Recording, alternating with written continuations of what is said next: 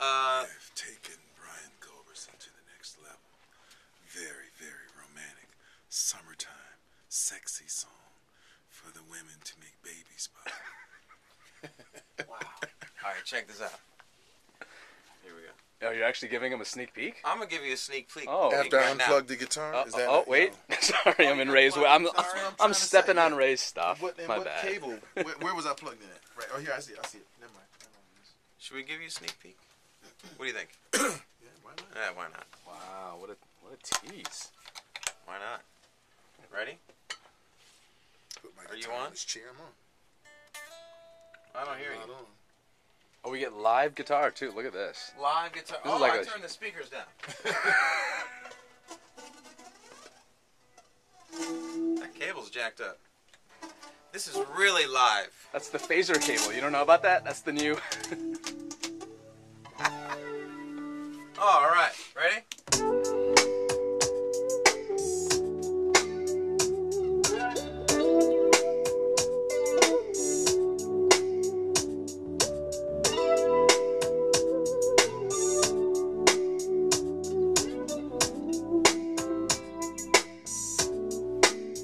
Melody yet to be that you haven't written. hasn't, hasn't been written.